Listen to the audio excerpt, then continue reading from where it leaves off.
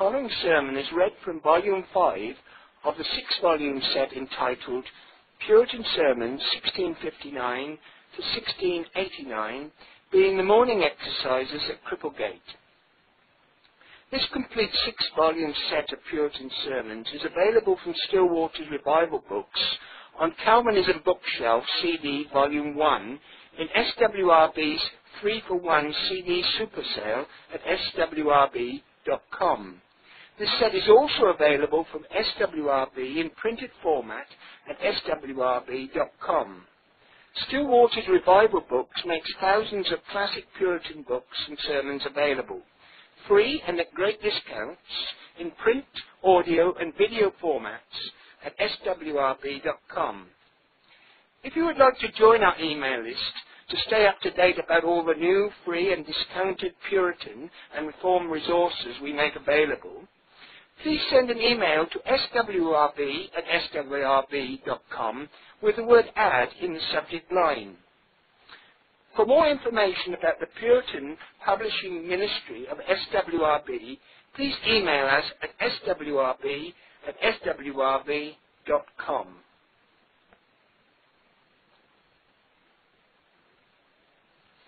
Welcome to Sermon 9 by the Reverend Stephen Watkins, entitled The Misery of Man's Nature, Estate by Nature. And were by nature the children of wrath, even as others. Ephesians 2 3. You have heard the doctrine of man's fall and of original sin opened and applied. This text generally leads to speak of man's misery through sin.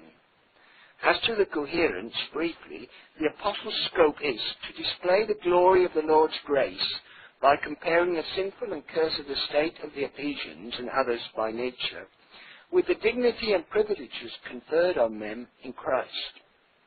He insists mainly, mainly on three heads. One, he describes the natural estate and course of the Ephesians and all other Gentiles in them, their estate. You were dead in trespasses and sins, verse 1. Their course. You walked wholly in sin, pricked forward by corrupt customs, which in several ages had taken place, and were effectual to hold and hearten you in the same tracks. And the devil, that eminently bore away in others, ruled and acted you likewise at his very will. This was yours, and the Gentiles' estate and course. Verse 2. 2. He applies the whole equally and indifferently to himself and to the whole body of the Jewish nation, among whom also we all had our conversation in times past in the lust of our flesh, fulfilling the desires of the flesh and of the mind, and were by nature the children of wrath, even as others. Verse 3. As if he had said, such children of disobedience were we also, as deep in sin and open to wrath as you Gentiles were. He would by no means have anything that, speaking so of the Gentiles, he exempted the Jews from the same ground of shame and despair in themselves, though he knew full well that this point went exceedingly cross to the grain of that people, who greatly boasted themselves to be the holy seed and children of Abraham, and despised the Gentiles as idolatrous, unclean, bastard brood. Ezra 9 2, John 8 33, Galatians 2:15, Romans 10:3, 11:24, and especially the Pharisees, of which Levin himself once was, Acts 26:5 and Philippians 3:5, who not only disdained the Gentiles, but thought and spoke contemptibly of God's heritage, namely the common people of their own nation, as a base and cursed crew. John 7:49 9.34. He pricks this bladder, affirming proudly, roundly of himself and all the Jews without exception, that as to their course, whilst unregenerate, they did whatsoever their sensual and carnal man willed, liked, and inclined to, and as to estate, were children of wrath, as much as others, even as the very despised Gentiles themselves were. The great temporary difference flowing from grace. Psalm 147, 19 and 20. hindered not their being the same, the very same with the Gentiles by nature. This and no other was the estate and course of the Jews likewise. 3. He sets over against all this, in them both, the quickening and recovering grace of Christ in the Gentile, verse 1, and in the Jew, verse 4.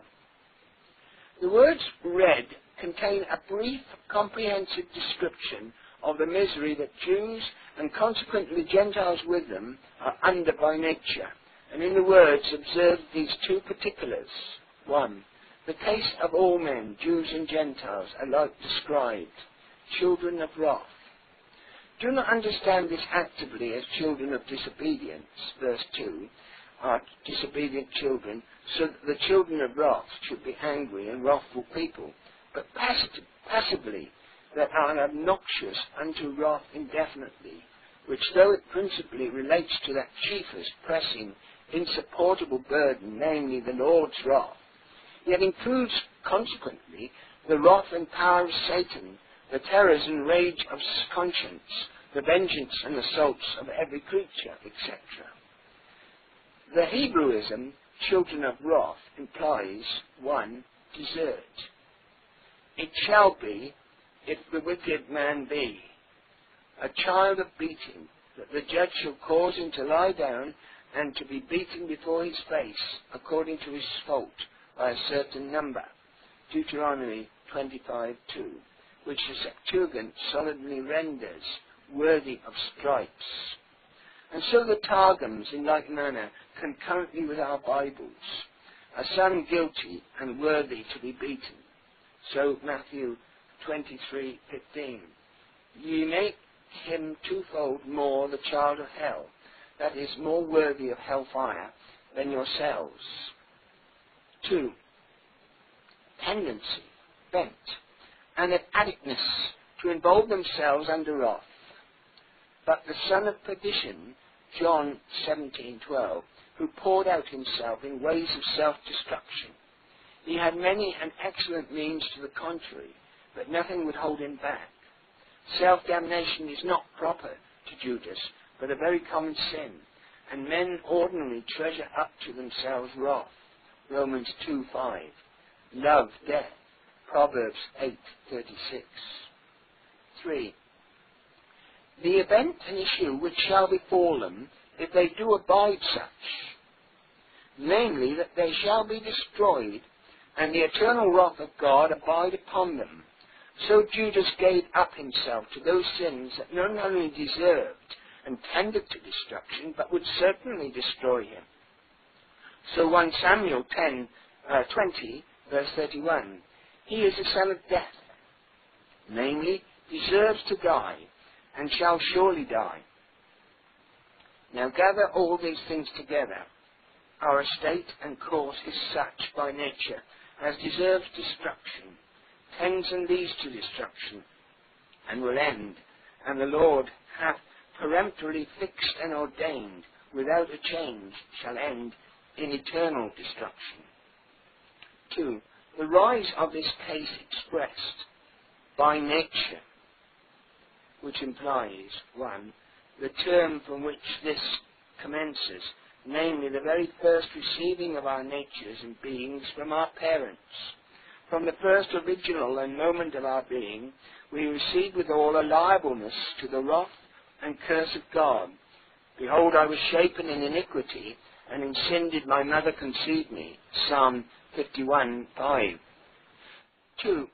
The ground for which this wrath impends and hovers, namely nature, not first created, but that was upright after, for that was upright after God, but the corrupted nature, which is conveyed and derived with our beings, Genesis 1.27 and Ecclesiastes 7.29. This very nature leads to, deserves, and will lodge under eternal wrath. Every mother's child in whom regeneration and transportation into Christ are not found.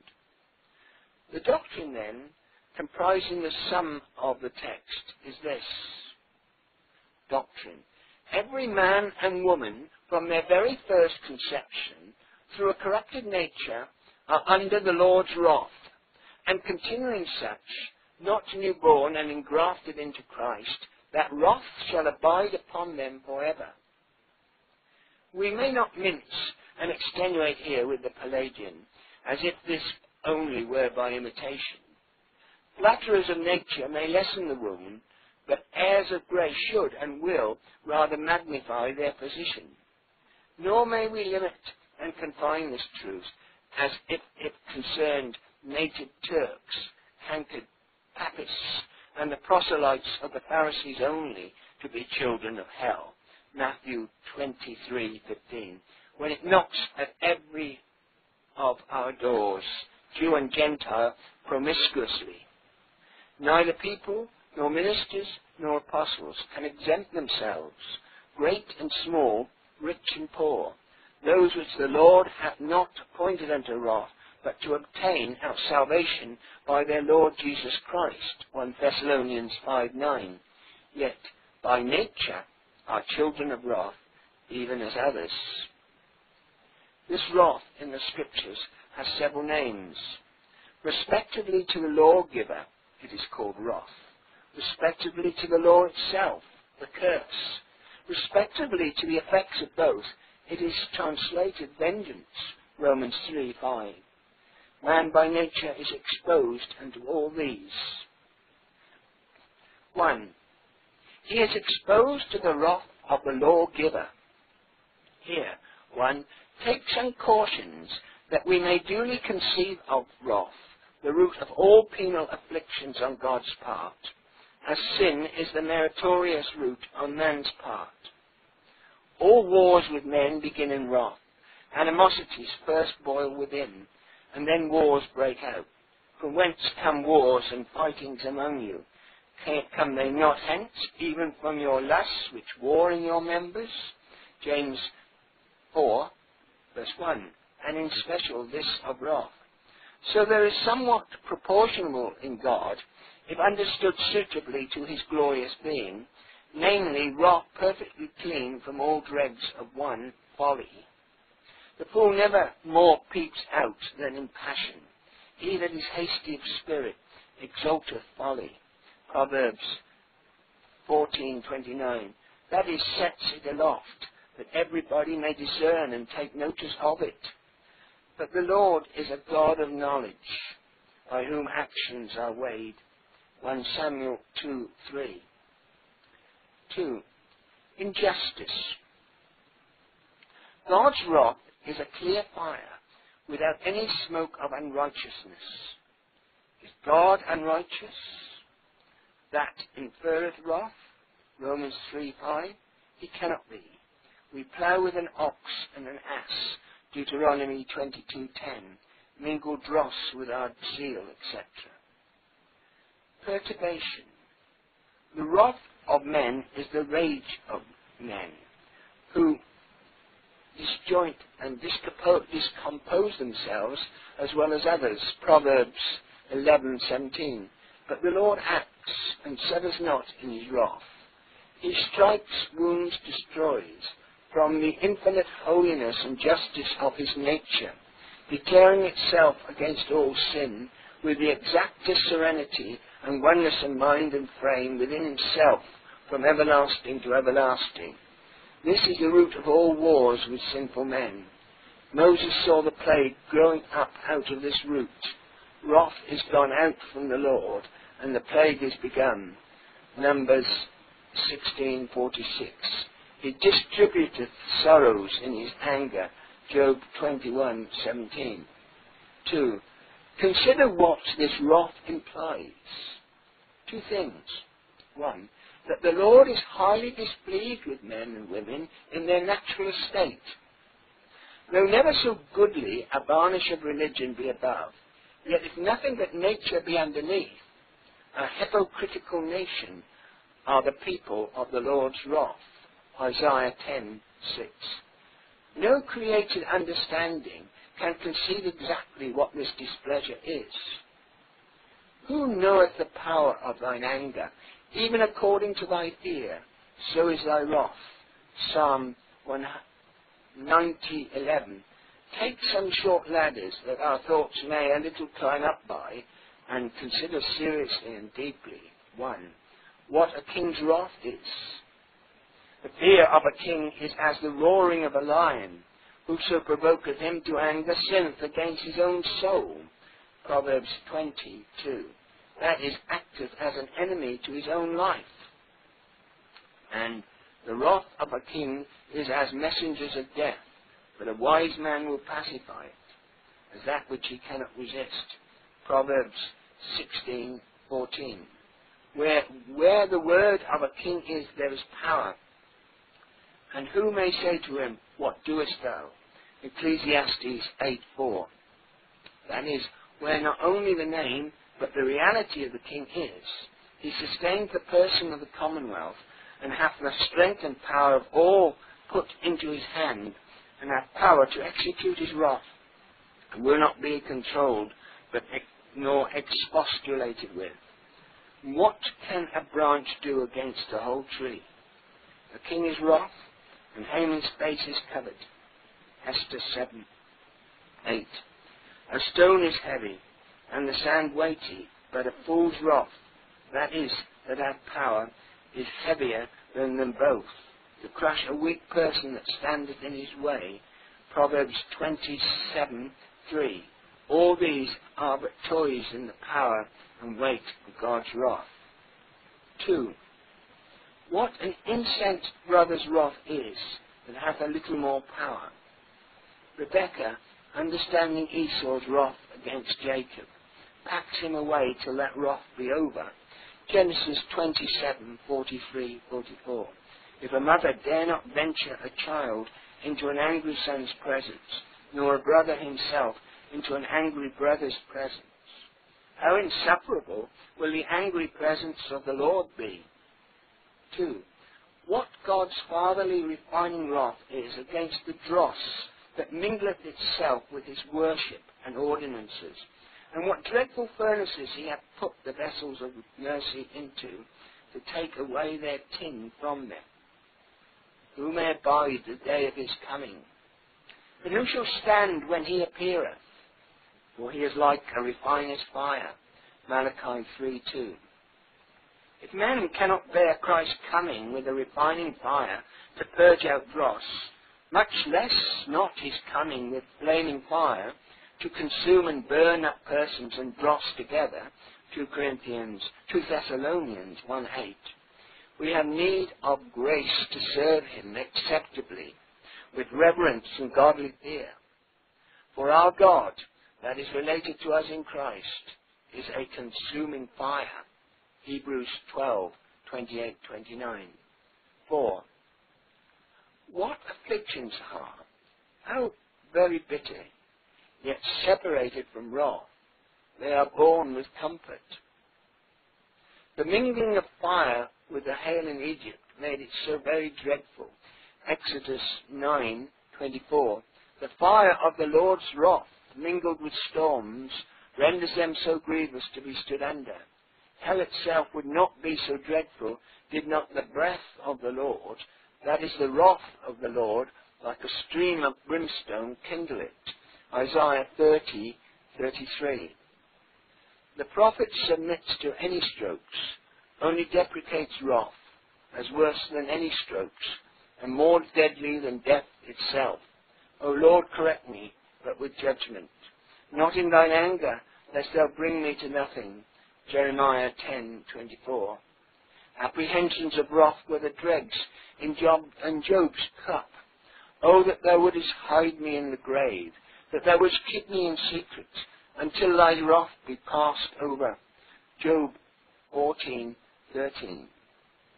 He cannot stand in the face of God's wrath, though he knew it was passing and not abiding wrath, and therefore begs a hiding anywhere and in the very grave till that wrath be over. Who then shall dwell with abiding wrath? John 3:36 with everlasting burnings Isaiah 33:14, with fire and brimstone and tempest that hath hatred in it. Psalm 11, 5 and 6. 5. What the Lord's glory is, when it is proclaimed and passes forth in a way of grace, only in a little more luster and brightness. Moses needs putting in a cliff of the rock and to be covered with the Lord's hand while the Lord's glory passed by. Exodus 33:22. Peter is swallowed up at a glimpse of the power of Christ. Depart from me, for I am a sinful man, O Lord. Luke 5:8. What then when he speaketh in his wrath, and vexeth in his sore displeasure? Psalm 2, 5. 6. What the Lord's wrath is passing upon others. All the children in the house tremble when the rod is taken down, though not with respect to themselves, but their fellows only. Take a man whose heart is touched with a sense of the Lord's greatness, and that will be his temper. They shall go into the holes of the rocks and into the caves of the earth for fear of the Lord and for the glory of his majesty when he arises to shake terribly the earth. Isaiah 2:19. 7. What the Lord's wrath is, only hanging in the threatening. He rebukes, his rebukes made both the ears of Eli to tingle, 1 Samuel 3:11, 2 Kings 21:12. There is a terror when a prince convenes and rates his rebels for their conspiracies and insurrections against him, though not yet brought to the bar or block. When I heard, my belly trembled, my lips quivered at the voice. Rottenness entered into my bones, and I trembled in myself. Habakkuk 3:16. Josiah's heart was tender when he heard what the Lord spoke against Jerusalem and against the inhabitants thereof.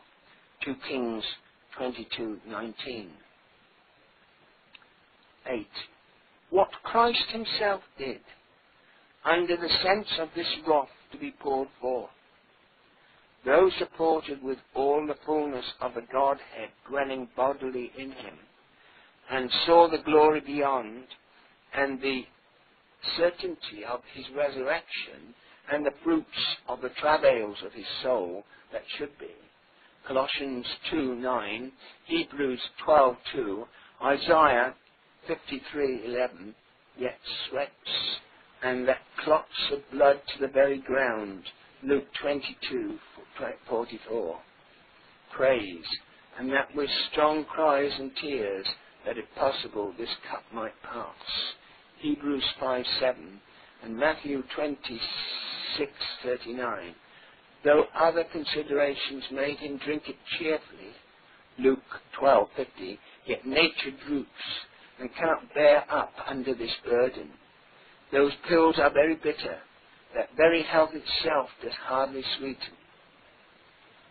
You that are yet in the mire of mere nature, steep your thoughts in these things, that ye may have a little taste what an evil and bitter thing it is, that God's wrath and displeasure is out against you. But this is not all. God may be displeased, and very highly, with his own people. I was wroth with my people, and polluted mine inheritance. Isaiah 47 6.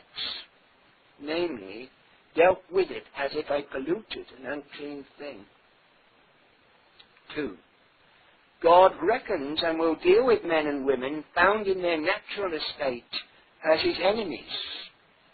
God's tender-hearted servants have not been able to bear the apprehension of this. He hath also kindled his wrath against me, and he counteth me to him as his enemies. Job 19:11. The plural number increases the sense as his deadly enemy. He that takes the Bible and carefully turns it over and considers the contents thereof and what he has said of those whom he reckons his enemies will have a further glimpse of the dreadfulness of this condition. He reserveth wrath for his enemies, Nahum 1 2. That is, he hath built and made wide the storehouses of hell, that there might be wrath enough in due season to be drawn forth for them. Those mine enemies, enemies that would not that I should reign over them, bring hither, and slay them before me. Luke 19:27. Ah, I will ease me of my adversaries and avenge me of my enemies. Isaiah 1:24. Judgment and fiery indignation shall devour the adversaries. Hebrews 10:27. And this must be applied to both sorts of enemies. One, close, that go closely on in ways of sin, secretly correspond with the devil and his temptations and their darling lusts, and will not lay the bucklers down, though they smile in the Lord's face and seek him daily, and delight to know his ways, as a nation that doeth righteousness and forsaketh not the ordinances of their God. Isaiah 58, 2. Flatter him with their lips and lie to him with their tongues. Psalm 78, 36. 2. Open enemies that proclaim and declare war against heaven, that do and will do what they please. Let the Lord say and do what he will to the contrary. As Pharaoh, who is the Lord, and I should obey his voice? Exodus 5 2. Our lips are our own. Who is Lord over us? Psalm 7, uh, 12, verse 4. His citizens hated him and sent a message after him saying, We will not have this man to reign over us. Luke 19:14. And understand, when the Lord so deals with this sort of sinners, he takes a kind of comfort in it. Thus shall my anger be accomplished, and I will cause my fury to rest upon them, and I will be comforted. Ezekiel 5:13. To others, the Lord distributes sorrows with sorrows, and speaks of himself as grieved when he puts them to grief. Judges 10:16, and Lamentations 3:33, Isaiah 63:9. But here he is comforted in making them the resting place of his fury. Proverbs 126. The heat and height of his fury poured forth upon incurable sinners is comfortable and pleasing to him. In every place where the grounded staff shall pass, which the Lord shall cause to rest upon him, it shall be with tabrets and harps. Isaiah 30, 32. Vengeance on such is music and delight to the Lord and to his people. Revelation 18:20. This is the first and not the meanest part of the misery of fallen man. That he is under the Lord's wrath. That is such as God is displeased with and will reckon and deal with as his enemies. 2. Every natural man and woman is exposed to and under the curse of the law. Is this nothing to have the word against thee, and to have the Lord write bitterly against thee in that very book which is the storehouse of comforts and supports to others? Job 13:26. Dreadful is that language of Ahab concerning Micaiah. There is yet one man by whom we may inquire of the Lord, but I hate him, for he doth not prophesy good concerning me, but evil. 1 Kings 22:8. So that language of a natural man's heart, God's mind is in that book, but I cannot abide to read therein, or to hear it opened and applied to a lively, rousing preacher. For it only raises storms and tumults in my conscience, and speaks not a word of comfort to me. The word, one, rings many a sad peal in the ears of conscience, and which he cannot abide to hear or think of, in that it does declare one, his sin. The word faithfully discovers God's straightness and man's crookedness and swervings from that platform and rule to which he should be conformed as a counterpart to the original. This charges omissions, commissions, and bunglings in the good which he does do, and sets all in order before his eyes, Psalm 50:21, if possible, to make him ashamed and confounded in himself. 2. The due and desert of sin. Every breaker of the law, the law pronounces and dooms to be cursed. There is that necessary connection that it is impossible to be chargeable with sin against the law and not liable to the curse of the law. Cursed is everyone that continueth not in everything that is written in the book of the law to do it. Galatians 3.10 Justification itself takes not away the desert of sin. Pardoned sins are not as well sins, or as such sins as they were. Pardon makes not the malefactor known, makes not that the fact was not committed, or not faulty, or that it deserved not death.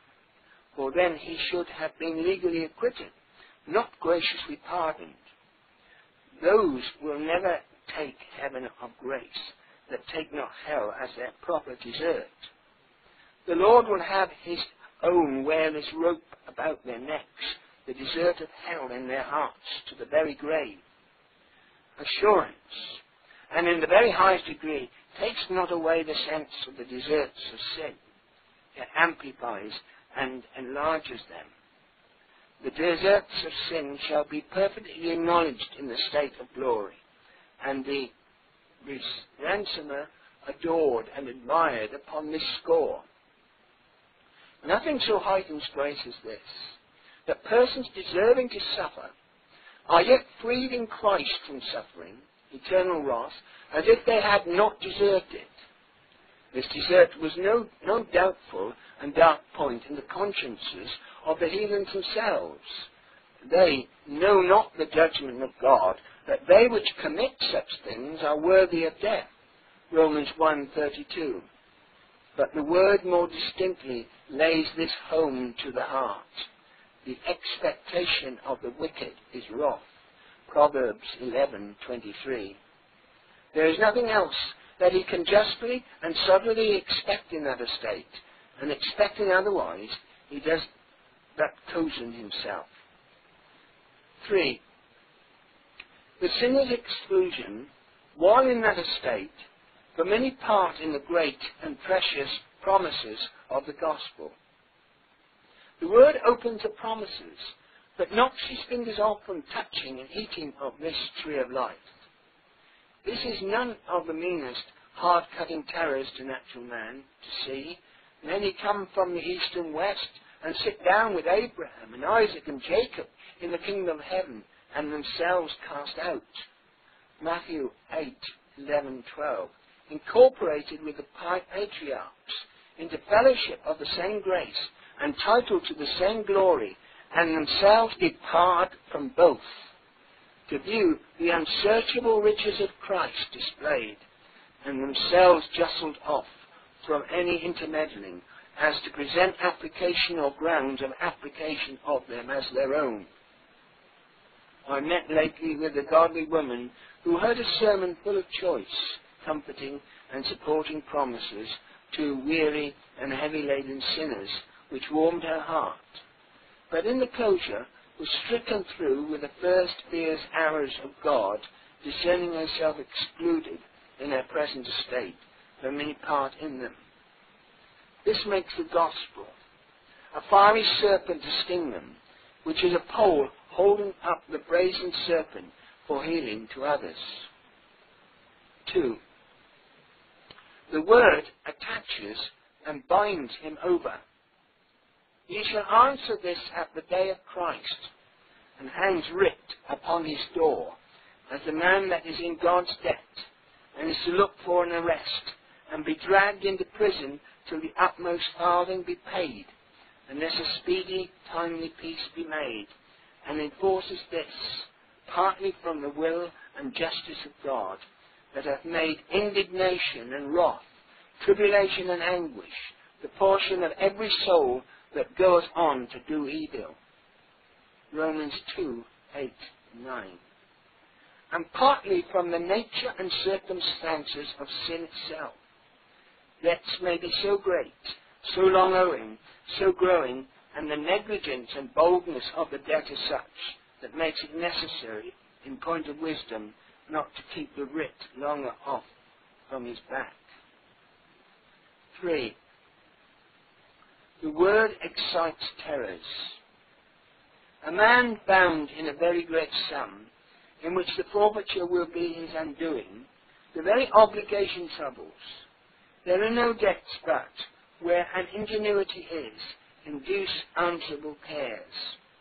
And the Lord, knowing the frame, and tendering the peace of his people, advises therefore against all debts, especially sticking under them, and not coming timely and carefully off. Owe no man anything. Romans 13:8.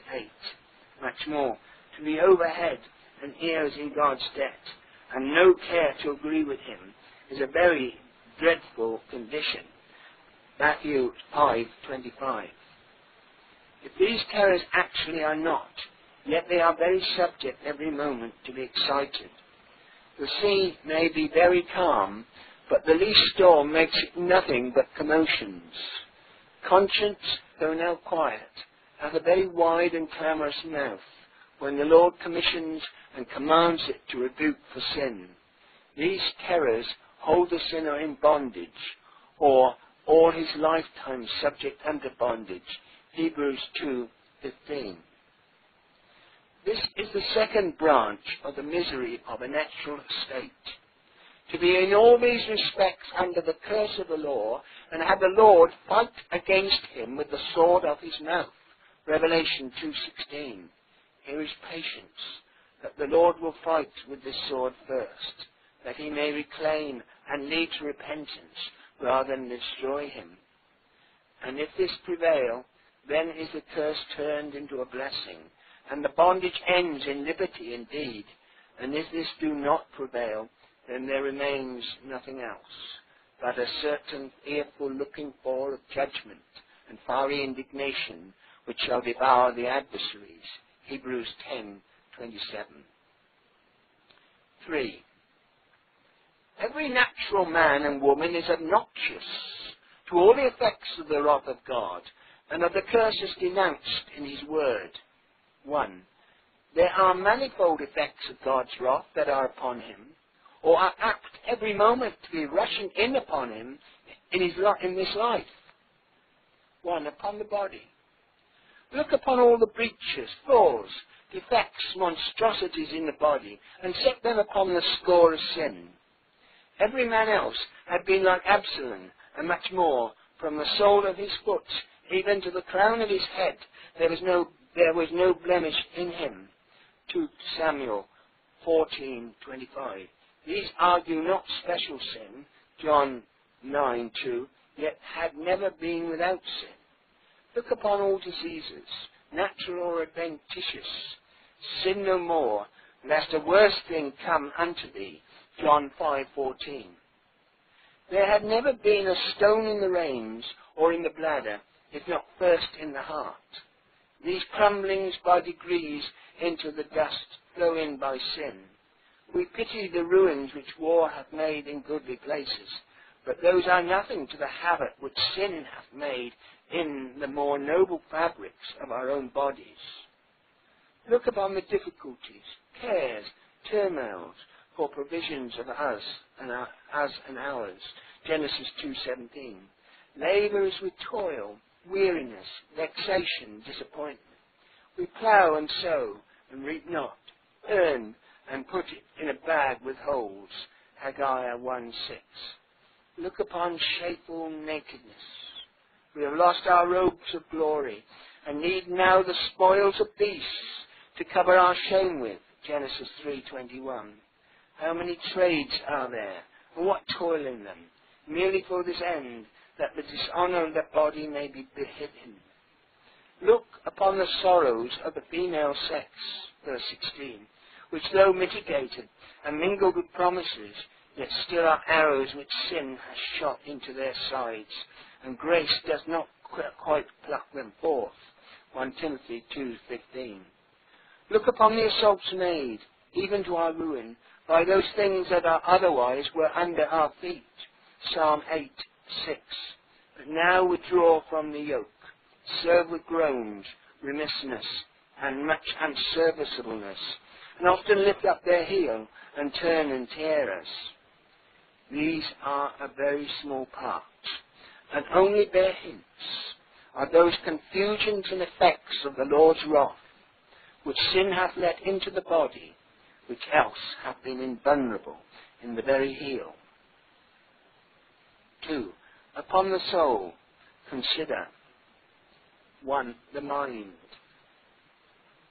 Oh, what blindness, ignorance, thick darkness in the apprehensions of God, His very being, most self-evidencing attributes, in the very mysteries of the first magnitude, which are the rules of our duty and grounds of our hope. Incapableness, dullness, slowness to believe, loathness to inquire or receive the light which shineth forth from heaven, doubts, distrust, mistakes, wanderings after that which is not light, and to ways that seem right, but the ends of them are the ways of death. Proverbs 14:12. The heresies of the whole earth are seminally in the blindness of the mind, and would grow up from thence, though they were none of our many sowers to scatter them, nothing being nothing else but corrupt imaginations formed into a system. and profitableness in the knowledge of truth which we must most clearly and distinctly conceive, and steadiness that we cannot fix and close upon holy thoughts till the impressions thence be powerful and work a real change. There is no spaniel more wild and running after every lark and butterfly that rises in his way than our thoughts are, gathering after everything that comes in our way. Yea, our mind gathers vanity to itself when the eyes are shut and no objects to divert and inveigle us with. These are sins, and yet are rushing in further, as the recompenses of further sins which are meet. Romans 1.27 2. The memory. Things stick there that a man would gladly learn and count it a singular mercy to attain, the art of forgetfulness of, and others leak and slip away, though taught often plainly, repeated, mused upon, and we felt the power of them in a degree upon our hearts. What indisposition, what indispositions to the use of means in order to a cure? What proneness to cumber ourselves with by matters, till they talk with us sleeping, and crowd in and suck away Lord's days themselves, and leave nothing but scraps of prayer and preaching to us.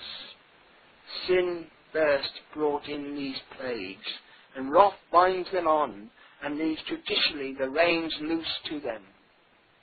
3. Conscience. The directing part is out of tune, and either gives no directions, as a master that is nobody in his family, or gives wrong directions, as false lights on the shore lead to ships upon the rocks and quicksands, forbids where the Lord commands, Uh, urges to that which he forbids. John 16:2, Titus 1:15, or gives right directions and hath no authority. And the judgment part of conscience is out of tune and gives no judgment of what is done, like a bell whose clapper is out, or a dumb dog that cannot bark, or gives perverse judgment and excuses where it should accuse, makes sin no sin, or very little, and stays the heart with empty comforts, or accuses for having done that which is, he is bound to do, and disquiets with undue fears, or accuses rightly for the matter, yet with excess, and so sinks the soul under despair, so that there is, there is as much need for conscience to be overseen as to oversee, to be guided as to guide. These hours abide in, and the venom of them invades more and more, and that is very dreadful effect of the wrath of God. 4. The will. There are sad strokes there. Averseness and impotence unto that which is spiritually good. Philippians 3.13. Psalm 10.4 inclinations and biases to drink in the very first and the very worst notions and suggestions unto sin, lustings after evil things, Job 15:16, and against the Spirit, Galatians 5:17. Stubbornness, Romans 8:3. Contempt of the offers of reconciliation, John 5:40. Ezekiel 33:11. In compliance with the counsels of the Holy Ghost, Acts 7:51. These are cords of man's twisting, and the Lord in dreadful wrath says, Be it so, and pinions him with them to the last judgment. 5.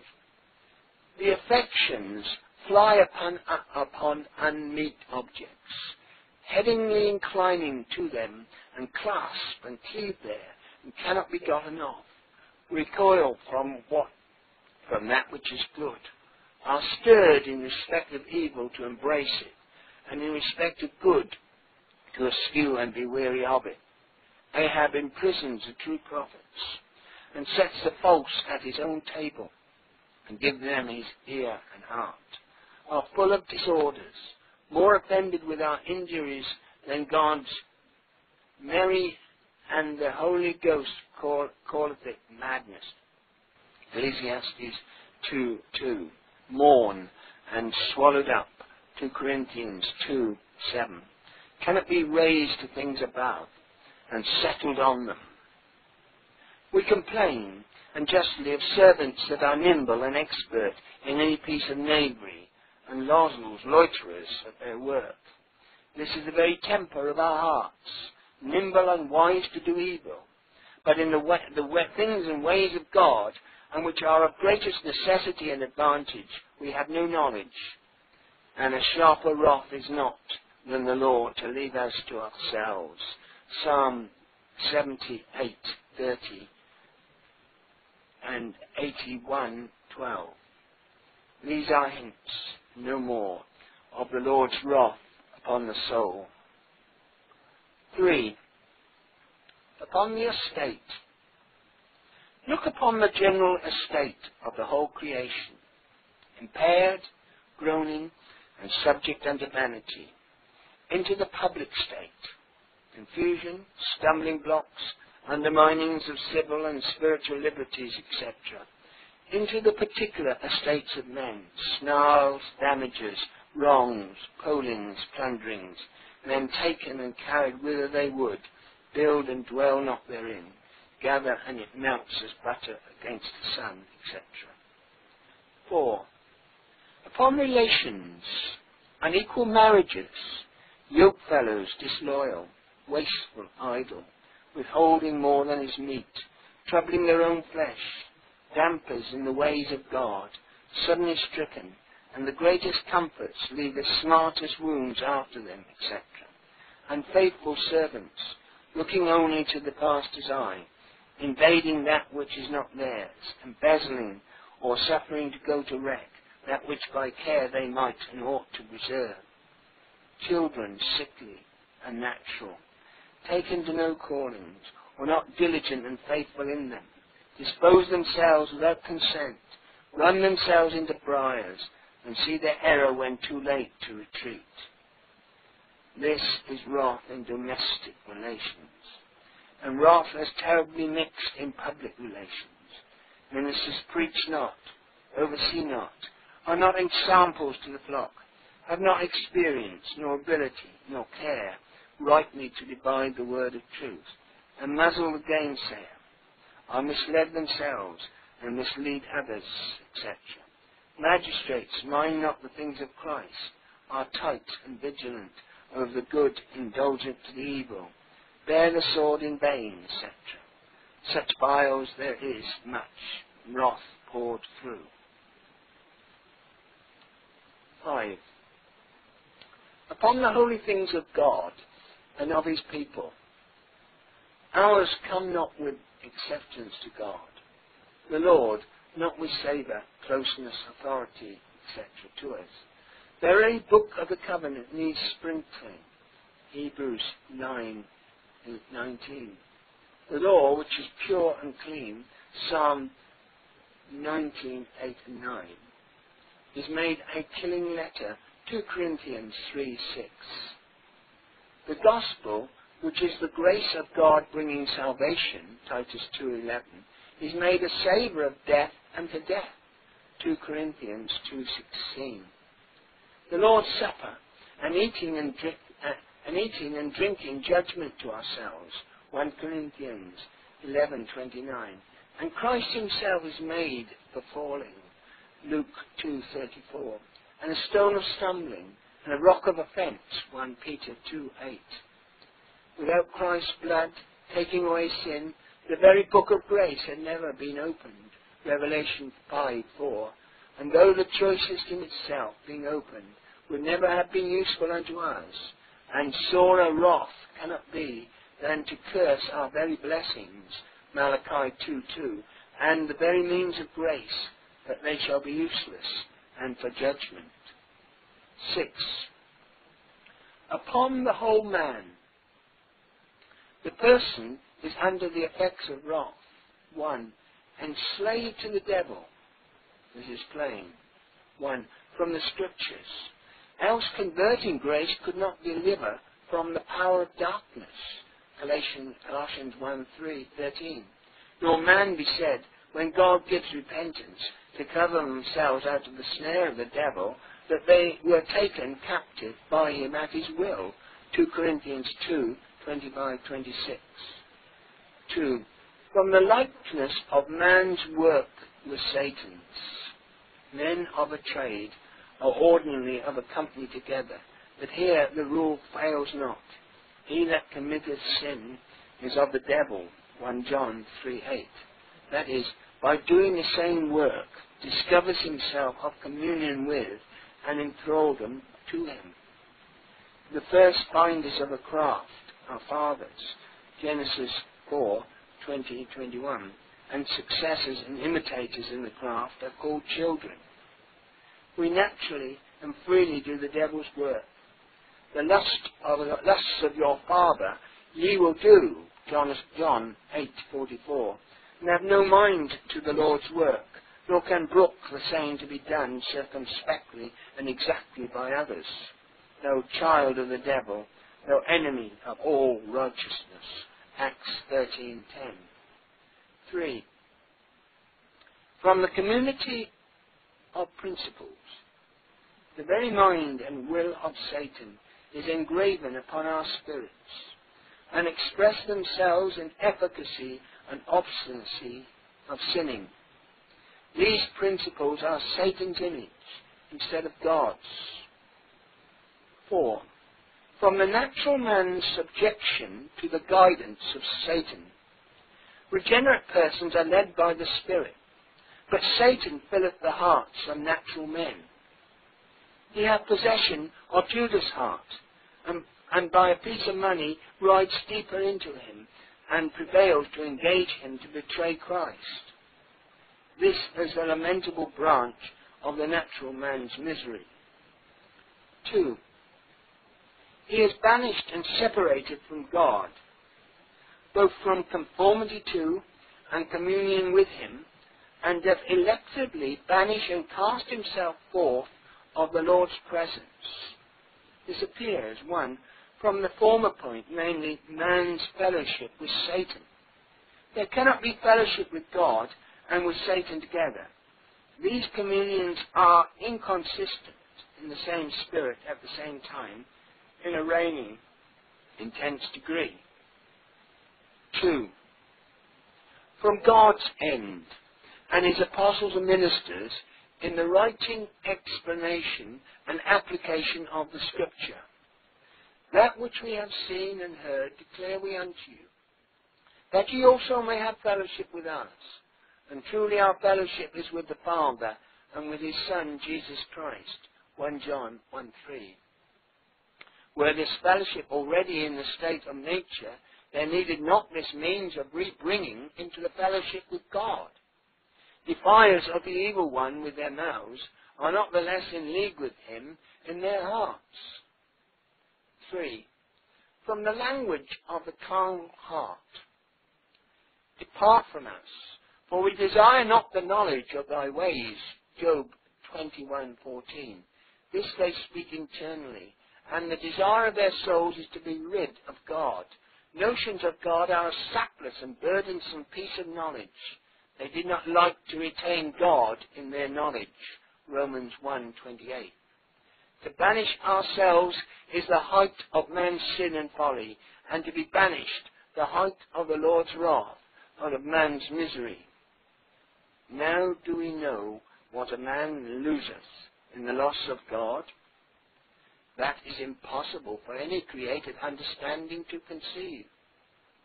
The world is a dungeon without the sun, the body a carrion without the soul, but neither so necessary as God is to the soul. A taste of the goodness of God made the world and the lives of the martyrs nothing to them. In thy favour is life. Psalm 30 verse 5. And thy loving kindness is better than life. Psalm 63 3. The very heaven of heavens lies in the enjoyment of God, and the hell of hell in the loss of him. The loss of him is the loss of the fountain from which all kind of good doth or can come.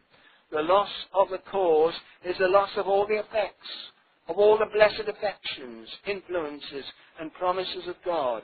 The loss of all those blessed hopes that fill the soul with joy unspeakable and full of glory. No prayer, praises, faith, love, fear, or any spark of other grace are to be found in truth upon the heart, the heart of that heart. Now the person in league with the devil and banished from and without God in the world must needs be miserable accursed. 3. He is discontented and unprofitable in every condition. They are altogether become unprofitable. Romans 3.12. The Holy Ghost makes a natural man of no more use than rotten things, which we cast forth to the dunghill for their unprofitableness. This is a dreadful ruin, that a creature so excellent should become unprofitable to others, and very far from comfort to himself in any condition. The wife, having all for use, and the husband's heart, have nothing, because not the authority, dominion, and disposition which is proper to the husband. Israel have bread and quails from heaven, and water from the rock that followed them, a table everywise furnished for need and for delight, and yet grumble because not meet for their lusts. Many have all things very good, and the wisdom of heaven could not carve fitter and better things, and yet all not good enough. Let sin creep in, and Adam will not be content in paradise, or the apostate angels in heaven, but leave their own habitation Go from God, and take thy leave and farewell of contentment and satisfaction. 4. He has grown a wolf and devil to his brethren, biting and devouring, Galatians 5.15, tearing, pulling, catching at advantage, flying upon the necks of the weaker. Men execute much of the wrath of God in these feuds among themselves so that the caution is very necessary. Beware of men, Matthew 10:17, in a sort, as of any wild beast, or the very devils themselves. This is a glimpse of that wrath which the Lord draweth forth against natural men in this life before the sons of men. 2. There are further degrees of this wrath that rush in at the end of this life the wages of sin is death. Romans 6:23. The bodies are the very heirs of glory, and which are temples of the Holy Ghost, lie trampled upon under rottenness, and suffer loss of their appointed glory till the last day. The Lord batters them till the house tumbles about their ears. He lays on load till the heartstrings crack. And to whom hell is remitted, death is not remitted. Those must die that shall not be damned for their sins, and death shall have dominion over them till the morning of the resurrection. There is a progress in God's wrath, which will not stop in the midway, but goes on till it shall be accomplished. Ezekiel 5.13. 5.13. 3. The full vials and very dregs of this wrath shall be poured out in the world to come, which now God reigns in. And let's not get loose and break over the banks, or if it do, cause it back and turneth it away. But then all his wrath shall be stirred up and let forth to the full. Psalm 78, 38. 1. There shall be the general judgment of the great day, in which the Lord himself shall descend from heaven with a shout, with the voice of the archangel, and with the trump of God. 1 Thessalonians 4:16 and shall be revealed with his mighty angels in flaming fire, terribly to execute the curses of that law which was so terrible in the promulgation. 2 Timothy, 2 Thessalonians 1 7. Then shall the sinner be forced from his grave, dragged to the bar, arraigned, the books opened, all the secrets of darkness and of the heart made manifest, and the goats put on the left hand, and have that dismal sentence, Depart from me, ye cursed, into everlasting fire, prepared for the devil and his angels. Matthew 25:41. 2. There shall be dreadful and final, final execution. And this stands in two things. One, in loss.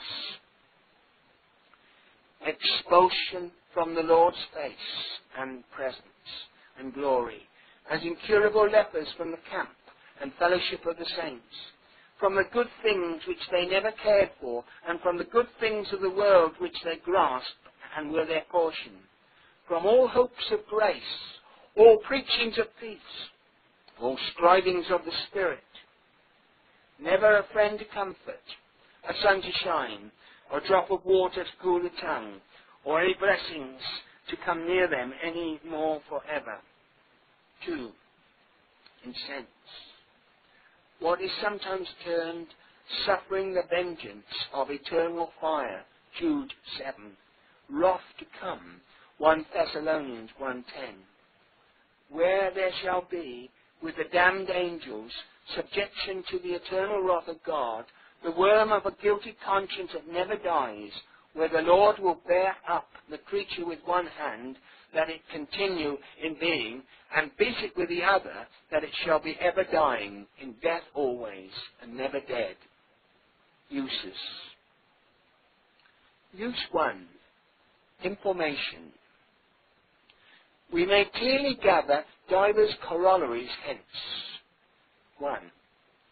This may inform us of the vast and wilful change that sin hath made Men could not come, possibly, such out of the hands of God. God saw everything that he had made, and behold, it was very good, and therefore blessed. Genesis 1.31. But sin hath taken him from Mount Gerizim, and set him upon Ebal. Deuteronomy 27:12, 13.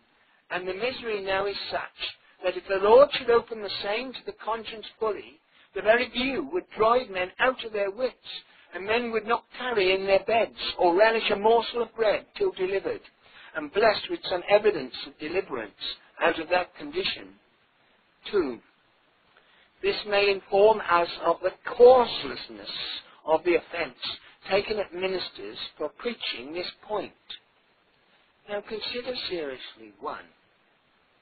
Is there a parallel to the offence taken here in ever, any other case in the whole earth? Who is angry with a watchman for giving notice of that the house is beset and ready to be broken up or on fire? They will all be disturbed, some half frightened out of their wits or wholly with the tidings, and very great pudder, pother follows till the house be secured and the fire quenched. Men might otherwise have been undone and destroyed in their beds. Who flies out against a sentinel that gives a true alarm and rouses the soldiers at the deadest time of the night? He prevents their surprisal or throats being cut in their beds and the town from being sacked. Who storms at a passenger that sticks up a bough in a quagmire that other travellers going securely on, may not be laid fast ere they think of any danger. Who takes it ill of a friend, that seeing a bearded arrow coming that should strike the stander next him mortally, pulls him aside with that force possibly as to draw his arm out of joint, and the arrow goes not through his heart? Who thinks amiss of a lawyer that opens the badness of his client's cause to him, that he may not insist on the wrong point, in which necessarily he must be cast? 2. Should we, to avoid your displeasure, not give you warning, and so draw God's displeasure, and the blood of new perishing upon our heads? Ezekiel 3, 18, 19. Is, good, is this good for you or us? 3. Do you well to provoke poor ministers to balk that part of their office which flesh and blood makes us too willing to have our edge taken off in? Desire we to be messengers of sad tidings, or rather to come in abundance of the comforts of the gospel? A pettish patient makes the surgeon search the wound less than is necessary to a thorough care. You tempt us to stop from speaking needfully of your danger by your loathness to hear on that ear, and by your rage and regret against the teller. Those who have most need of faithful intelligence of the Lord's wrath have least upon this very score. Who shall declare his way to his face, namely that is respited and prospers, and tramples the doctrine underfoot, and turns again and tears the preacher? Job 21, 31. 4. This is no other than what the Scripture speaks, and conscience upon retirements will speak, and Satan will lay in your dish, and the Lord will pay into your bosom. Will those fly in the Lord's face and of conscience, telling the story to them, and pronouncing a sentence against them? O profane partial spirits, that cannot endure such preachers as themselves shall be unto themselves. They cannot bear the hearing of those terrors that themselves shall be relaters and inflictors of upon themselves. You had better have the commodity at the first hand. Conscience will preach in another note and loudness than we do, and the more because your ears have been stopped against our words. 5. There cannot be a greater madness than not to be able to live under the noise and news of this wrath, and yet stick under the wrath itself. The hearing makes the ears tingle, but the wrath does not make the heart quake. Ye had better hear the heralds in the prince's name denouncing the war and send out the peace, than have the prince himself come with fire and sword into your bowels upon the contempt. 3. This may inform us of the righteousness and wisdom of the Lord in this wrath annexed and declared against sin. 1. Consider the high rewards the Lord hath propounded. The law is not fiery in against sin, but the gospel is as full of grace and promises to the ways of duty. 1 Corinthians 2.9 and 2 Corinthians 12.4.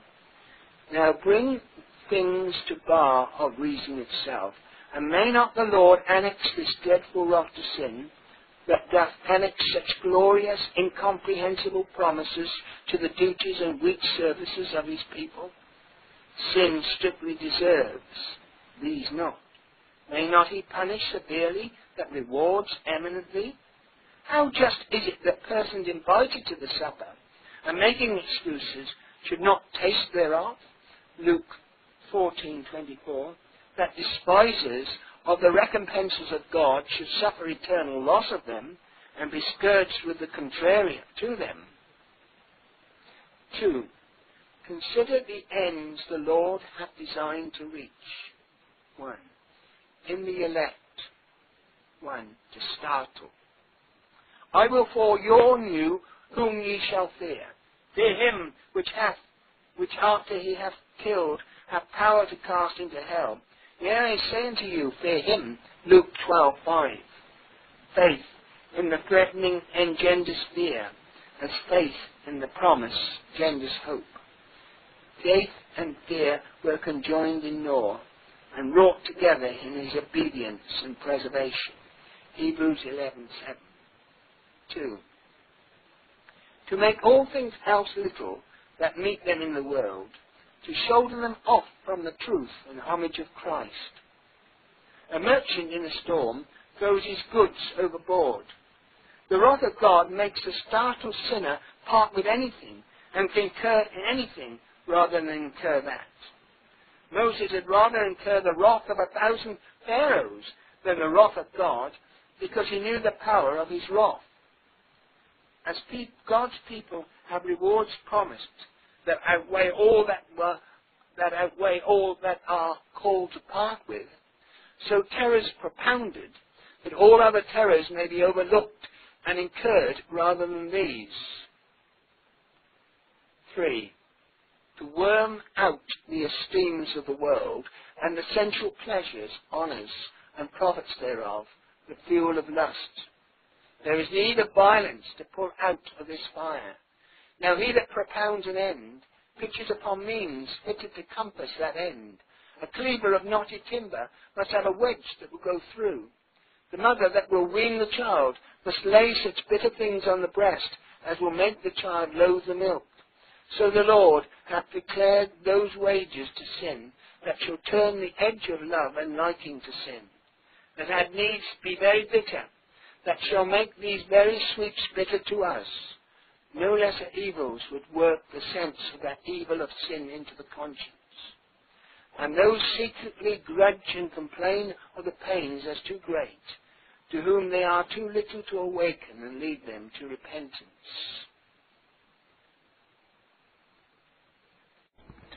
This Reformation audio track is a production of Still Waters Revival Books. You are welcome to make copies and give them to those in need. SWRB makes thousands of classic Reformation resources available, free and for sale, in audio, video, and printed formats. It is likely that the sermon or book that you just listened to is also available on cassette or video, or as a printed book or booklet. Our many free resources, as well as our complete mail order catalog, containing thousands of classic and contemporary Puritan and Reformed books, tapes, and videos at great discounts, is on the web at www.swrb.com. We can also be reached by email at swrb at swrb.com, by phone at 780 450 3730, by fax at 780 468 1096, or by mail at 4710 37A Avenue, Edmonton, that's E D M O N T O N, Alberta, abbreviated capital A, capital B, Canada, T6L3T5. You may also request a free printed catalog. And remember that John Calvin, in defending the Reformation's regulative principle of worship, or what is sometimes called the scriptural law of worship, commenting on the words of God, which I commanded them not, neither came into my heart, from his commentary on Jeremiah 7:31, writes, God here cuts off from men every occasion for making evasions, since he condemns by this one phrase, I have not commanded them, whatever the Jews devised. There is then no other argument needed to condemn superstitions than that they are not commanded by God. For when men allow themselves to worship God according to their own fancies, and attend not to his commands, they pervert true religion. And if this principle was adopted by the papists, all those fictitious modes of worship in which they absurdly exercise themselves would fall to the ground. It is indeed a horrible thing for the papists to seek to discharge their duties towards God by performing their own superstitions. There is an immense number of them, as it is well known, and as it manifestly appears. Were they to admit this principle, that we cannot rightly worship God except by obeying His word, they would be delivered from their deep abyss of error. The prophet's words, then, are very important when he says that God had commanded no such thing, and that it never came to his mind, as though he had said that men assume too much wisdom when they devise what he never required, nay, what he never knew.